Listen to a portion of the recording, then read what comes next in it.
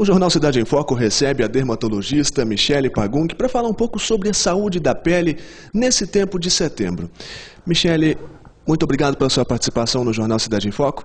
E eu queria que você começasse explicando para a gente quais são os riscos que quem trabalha exposto ao sol ou quem exerce algum tipo de atividade exposto ao tempo corre com esse tempo seco, com esse clima bastante seco de setembro, né? Nessa época do ano, a pele sofre muito mais, né? E as pessoas que vão estar expostas ao sol, esse, esse dano é ainda maior. Então, é muito importante que a pessoa se proteja mais nessa época do ano também. Então, tem que manter o uso do filtro solar, reaplicar esse filtro solar. É, quem trabalha muito exposto sempre deve usar a camisa de manga, usar um chapéu ao invés de um boné, porque a proteção do chapéu é muito maior.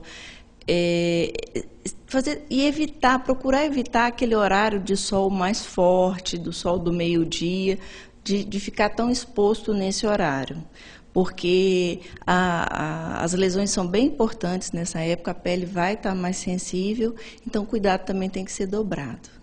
Que tipo de lesão assim pode haver na pele para quem não seguir essas recomendações? As lesões, a maioria das vezes, são a longo prazo, de médio para longo prazo. A curto prazo é a queimadura mesmo, e a médio a longo prazo seria o envelhecimento precoce da pele e o aparecimento de lesões que futuramente pode, podem evoluir para um câncer de pele. Bom, então reforça para a gente o que é ideal para se trabalhar ou para se fazer algum tipo de atividade exposto ao sol, exposto ao tempo?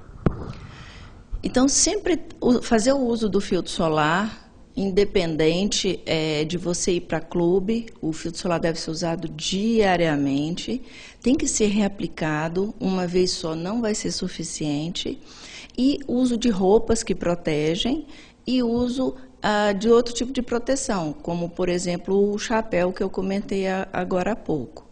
Bom, então, Michele, fica à vontade para você, para você ressaltar alguma coisa que você acha que é importante para a comunidade, já que esse tempo é um tempo tão crítico com relação à pele. Essa época do ano, a pele das pessoas ah, sentem muito né, esse ressecamento. E às vezes o clima também está um pouquinho mais fresco, então além do tempo seco, a, a pessoa ainda toma banho quente. Aí o que, que acontece? A pele resseca muito principalmente em crianças e idosos. E com isso acabam aparecendo até as doenças de pele. Na criança piora geralmente uma doença que chama dermatite atópica, uh, que é muito é, que é causada, uma das causas é o ressecamento da pele. Os idosos têm muito prurido, muita coceira no corpo, muitas vezes só pelo esse ressecamento da pele. E, de uma forma em geral, eu vejo muitos pacientes, muitas pessoas reclamando é, que a pele está mais sensível, que está coçando, que piorou a caspa, que o rosto está irritado. E isso vem tudo desse banho muito quente que as pessoas é, tomam nessa época. Aí, geralmente, o banho é demorado.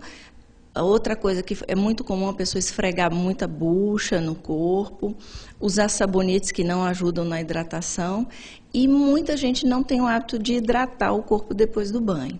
Então, o que, que a gente orienta nessa época? Procura tomar um banho mais rápido, se você não consegue tomar um banho mais frio. Então, que o banho seja rápido.